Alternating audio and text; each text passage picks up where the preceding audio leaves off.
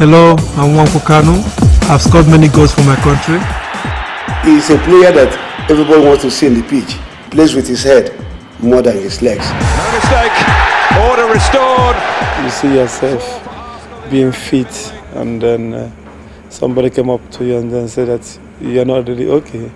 You have some problem.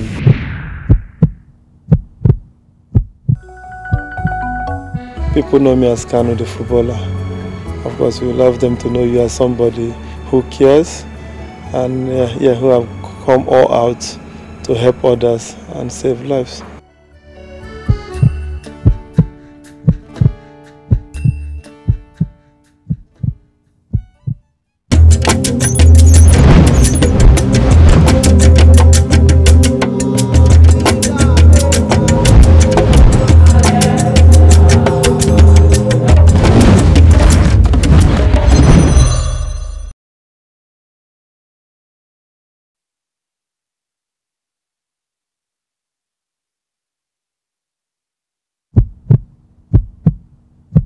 It's a noble cause.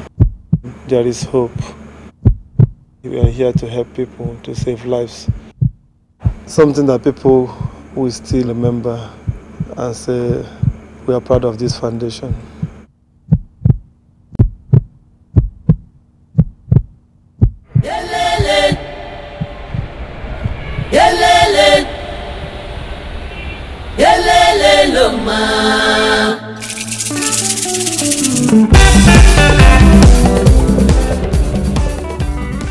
Given day, the city of Owerri is buzzing with activity. Set in the heart of Igbo land, this town has often been referred to as the entertainment capital of Nigeria. Linked to the rest of the country with a good road and rail infrastructure, Owerri is known for its agricultural produce of yams, cassava and palms. But today, this bustling town, with an estimated population of about 400,000 inhabitants, has its place on the global map. Hello, I'm Nwankwo Kanu. I've scored many goals for my country. It is here that the renowned Nigerian footballer Kanu Nwankwo comes from. Yes, we can do it.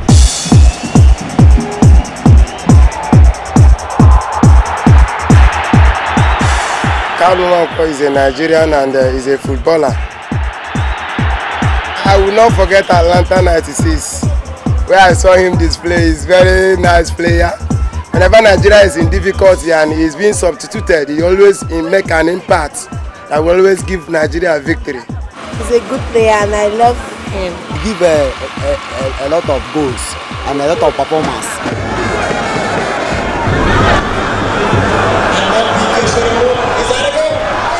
One was uh, it's an uh, Igbo name and it means a child born on Nkwo's Day. Because we have Monday, Tuesday, Wednesday, Thursday, Friday. And we have it like Nkwo Orie Afo, Eke. So we name it like that in Igbo.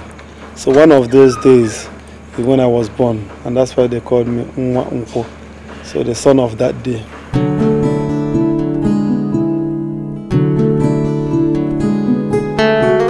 I started with um, a team called Federal Ministry of Works. Oh, oh, oh, it's a local team in the state. They needed a tall man. So I was like playing for them, but at the same time I was schooling as well. So I used to make my money from there and try to buy my books. Did you, did you know that you get to buy bus stop? Big, big money. It's a man of school like that. And the school I be able to have. Way back in the 8,000, big money. Bought foam, Foam, carpet, Carpet, then rock- we know rock- rock carpet. rock carpet, video, and video and TV. a bag of beans. Some quantity of a plantain. All right. I've known Kanu for a long time, from 1982, you know, when I was still playing football. Fine young man who very uh, humble, uh, very cool-headed, uh, even in his team. And so that was why he was able to make the mark in football. So tell me, tell me, the secret. You played with him, Yes. you grew up with him, Yeah. you are still with him. So Yeah, what is the secret? actually, they say two hearts that be like one. two us that works together. And uh, when you find a friend, you find a friend. And when you're at home, you're in peace. So you find peace, you know, at the same time, the delicacy, you know, mother's food. Uh, those, those, uh, you understand, man? those, uh, and also to see their faces.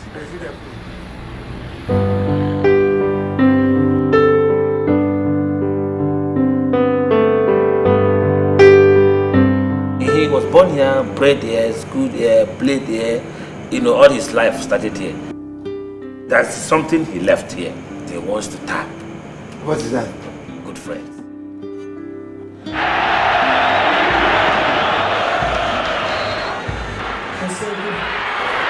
After the Federal Minister of Works, I went to a bigger club, which is in the Premier League, called Iwuanyanwu National. I played for them for one year uh, before I, I left Europe and then um, signed with a club called Ajax.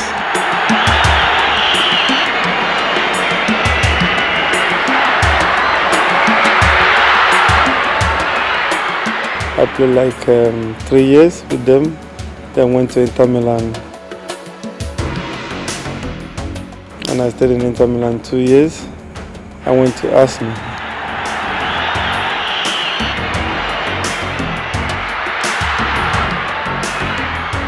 And I stayed in Arsenal for a half year.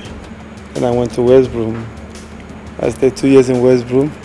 And then I went to uh, Portsmouth. And Iniesta ran into him. That looked painful. Karo is a unique, is a unique player. Uh, he stands out among the best in Africa. There is this magical touch that he turns the table, even when the tide is against a team he's playing. Whenever he comes in, he turns the tide, and that's what he's known for. During the Atlanta 96 Olympics, when Nigeria was playing against Brazil, Brazil they were leading Nigeria when um, Victor Ikpeba scored a goal, reduced the tally, but just at the dot of the full time, Kanu scored the equalizer. He's a player that everybody wants to see in the pitch. Uh, a good midfielder, ball distributor, he has vision, he plays with his head more than his legs. When an athlete is at the top of his game, he feels immortal. Olympic success, burning up the premiership, being a national hero, Kanu was on top of the world. Some athletes turned to other challenges. Michael Jordan tried baseball. Sugar Ray Leonard sold cars for a while. Others are struck down by injuries. Knee problems are the most common. Drugs and alcohol can claim some careers. And athletes can be shot down by their egos, feuding with coaches, teammates, management, family, and even fans. But Kanu was a model citizen. What could possibly stand in his way? His health was threatened by the most elemental part of his being. A man with such strong compassion, it hit him in his most vital organ. Kanu found out he had trouble with his heart. I was at the peak of my career and um, everything was going fine and we were happy. You know, people were talking about you. So after the Olympics in uh, America, then I signed a new club, Inter Milan. But after the um, medical test, they found out that I have an um, aortic valve problem. Um, but it was like a surprise because you see yourself being fit and being okay, and then uh, somebody came up to you and then said that you're not really okay, you have some problem. So for me, it was like a shock. Uh, I didn't believe it at first. I have to go to other doctors to verify to make sure that it's really what's happened.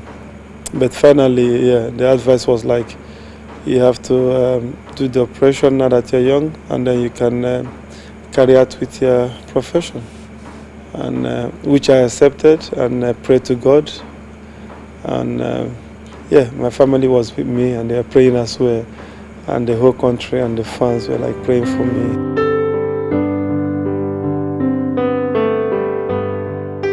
People thought that was going to be the end of his career, but rather that was the beginning of what was to be the Kanu phenomenon.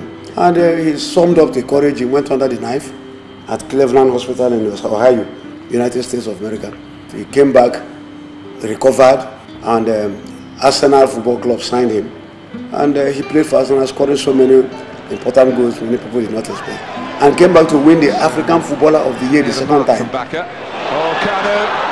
When he now, after coming out, he said, one way of being grateful to the Almighty God, one way of showing, giving back to the society that prayed for him, that stood behind him, uh, was to put up the foundation. It was his own idea.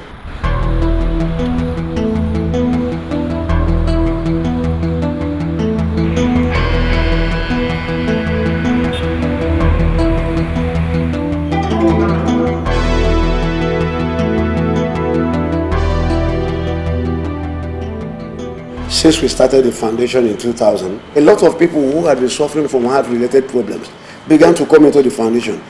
The doctors, they have said uh, he needs a heart surgery. So first and foremost, you will, you need a passport. The rate at which children, people suffer from heart-related problems is growing by the day. All these children, they're on the waiting list. This one is from South-South, this is from Southeast, patients from the Southeast, adults, children. Look at all of them. They are waiting. Plenty, plenty. So what we what we do is initially when we started, we didn't just want to begin to make noise out of it. Uh, we, we felt that our what we did will be able to speak for us, and um, we began to rate people.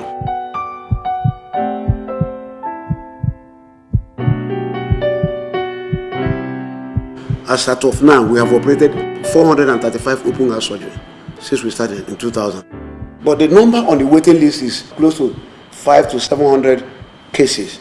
Now, if we have that in a foundation, in a charity organization, what will it be like in other hospitals?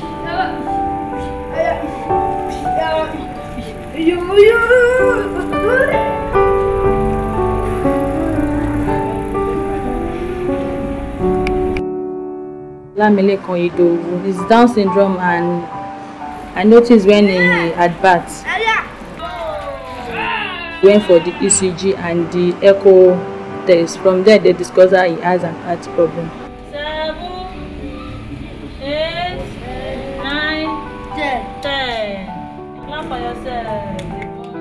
Somebody directed me here that we should come to Kanu Heart Foundation. They can say anything to render any assistance they can render at least to put things in order for me and to put a smiling face there.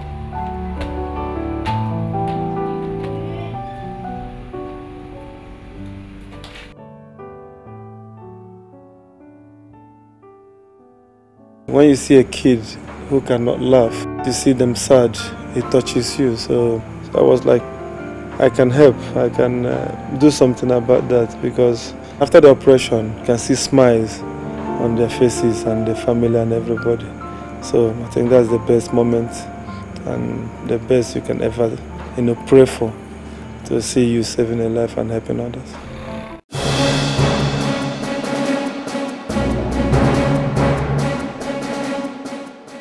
Hello, I'm Nwankwo Kanu. I've scored many goals for my country. He's a player that everybody wants to see in the pitch. Plays with his head more than his legs. No mistake. Order restored. You see yourself being fit and then uh, somebody came up to you and then said that you're not really okay. You have some problem.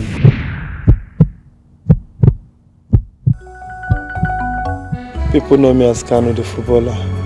Of course, we love them to know you are somebody who cares and uh, yeah, who have come all out to help others and save lives.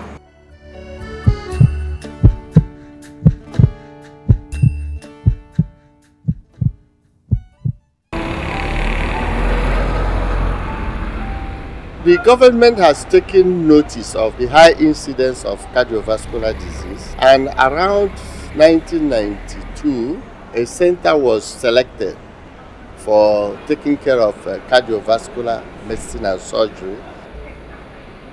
Where we are now is the center for the whole country.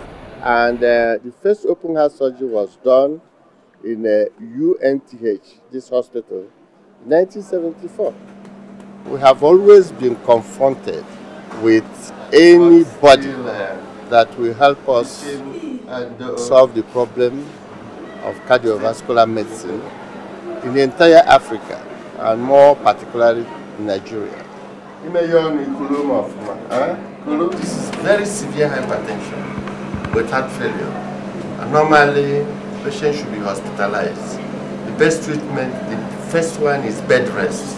And then we install the clinical, uh, the chemical treatment, antihypertensive. But now, it's a question of financing.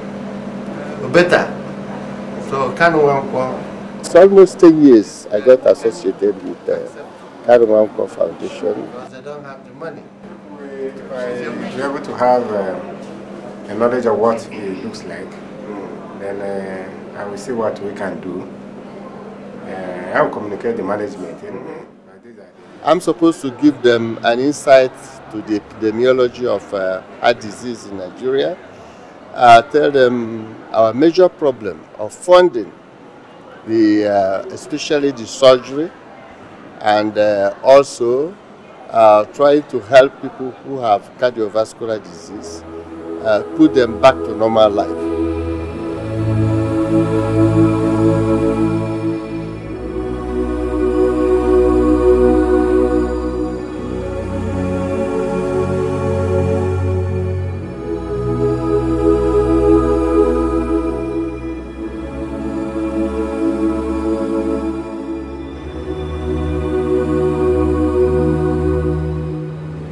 Because of my three years old daughter.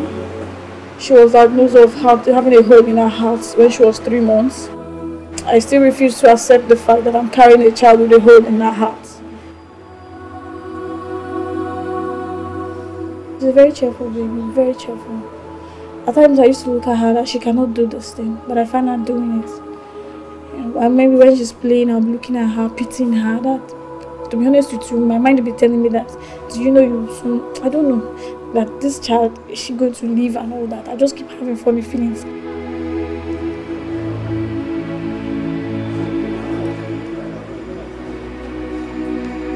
I checked the internet, I got to know of Heart Foundation. I decided to come if there's anything they can do for me.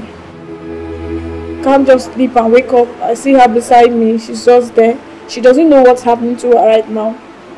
And I don't know what the future holds for her, so I don't know. I don't just know. Confused, very confused.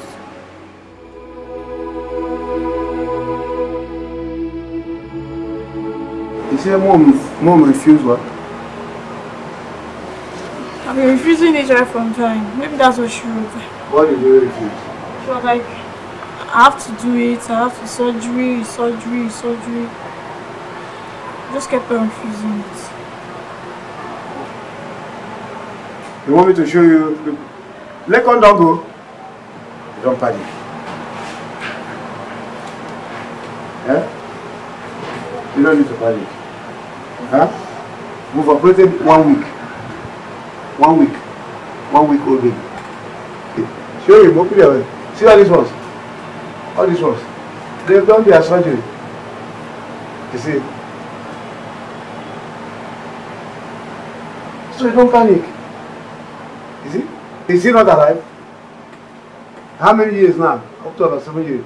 Is he not alive? So why are you panicking? It's okay. You don't need to panic. I looked at her, you know, psychologically, you know that she's depressed. Because the first thing you have to do is to restore that confidence and show her some, uh, that's what I was trying to do, show her some pictures of people who have passed through the surgery, people who have survived. By seeing those people, she will, oh, okay, is, I thought before that once they say heart, the person is gone.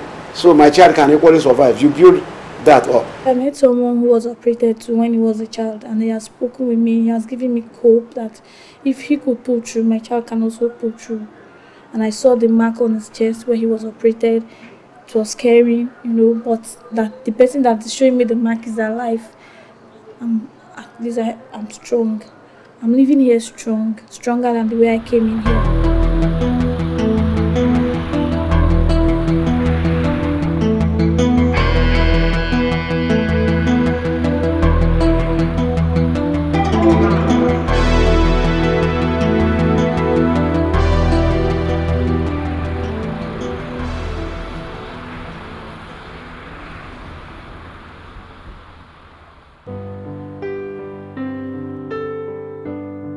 Lekan now is 20 years old. And Ismaila is gone.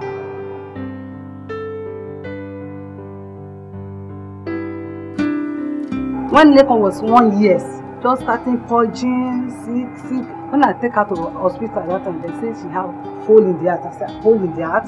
From where? Just thank God. Because that time, there's no money to even eat. I be selling market, but I can't sell again because of this boy. When she go to school, then bring him back. Sometimes the mouth will be bleeding. Comot blood. The all the hand blue, the tongue blue, the eye red. He can't do anything. When I was a little kid from, I couldn't play with my friends. Whether go down to field, like, okay, I want to join guy, he says, no, I can't play ball. I should go and meet the losers. I felt bad. Lekon was 10 years old. He can't walk. He can't eat. I always back him. To even go out, I will be chained. So one day, somebody called me that she saw some uh, Kano one call Kano at Foundation on television. He said at Ikeja, so go there, go and confirm. When I reached there, they asked me to fill form. I fill form. Not quite three months, they take my son to Israel. I didn't pay money, oh. This is when I was I came back from Israel. My mom, my dad, Mr. Abia, my sisters. So, uh, some of my friends are down here too, but they are not in the pics. That day I was happy too.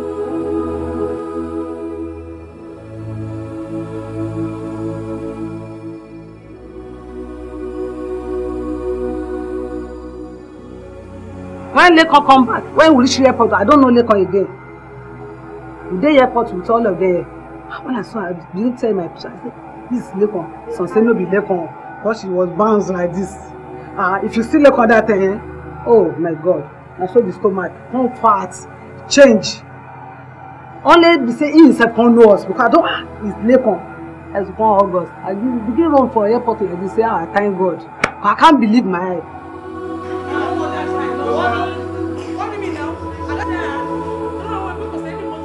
I'm not differentiating the, the other players from him. They are good people too. But Khan is the best of all. He has the skills, the the, the, the, the physique of football stature is tall. Many things encourage me to like, okay, I want to be like him.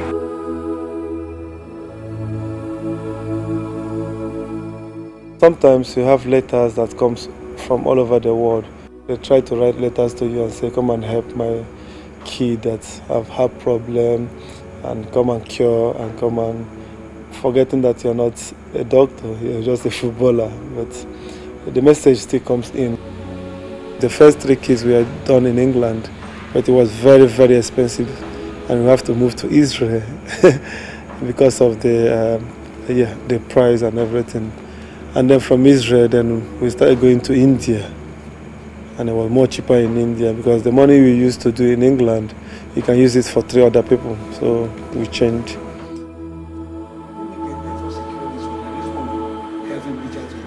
When you discuss with your team, if you have to know if they have the same approach and the same mind.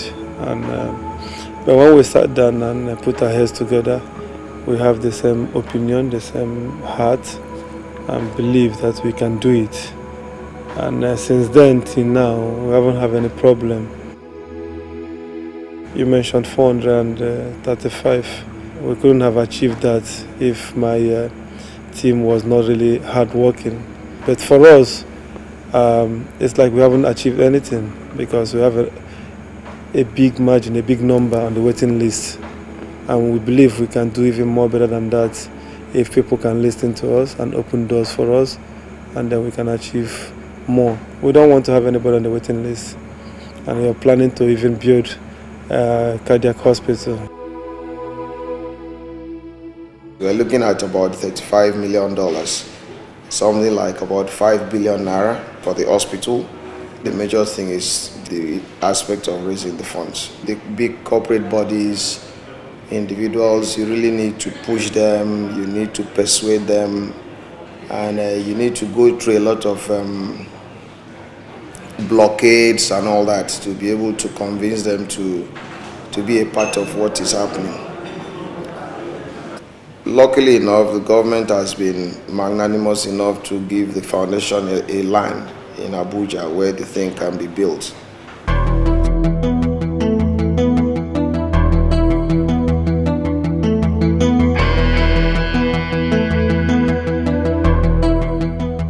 Not been getting the kind of support we need. All we do is that we organize events, raise funds. Kanu will invite his friends, play some matches. We'll be able to raise some funds to be able to, you know, uh, take care of this patient.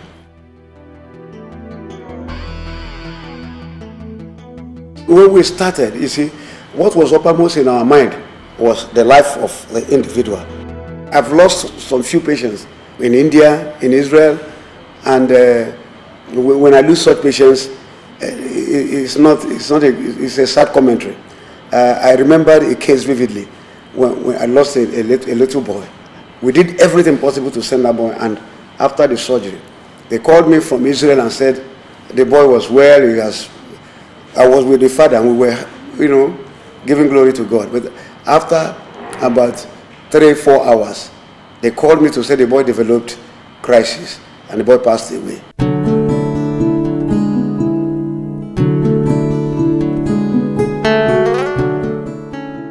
In 2003, we had a test run. We brought doctors from the United States of America, 20 doctors led by Professor Novick. Within a span of 10 days, they were able to operate 13 children. And in that 13 children, we lost two, but the other 11 are living today.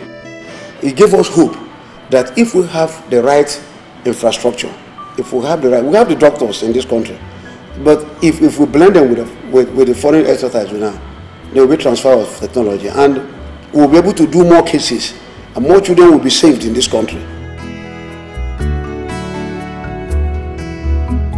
I want to say happiness, smiles. Football is a talent God gave me. And when I was a kid, you know, I have this dream that you want to be the best.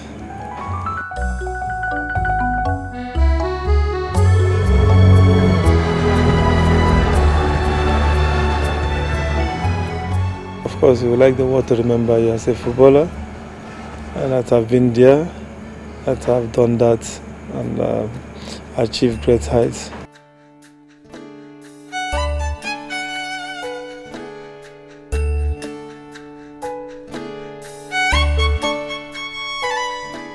People know me as Kanu the footballer, but also now the foundation is here.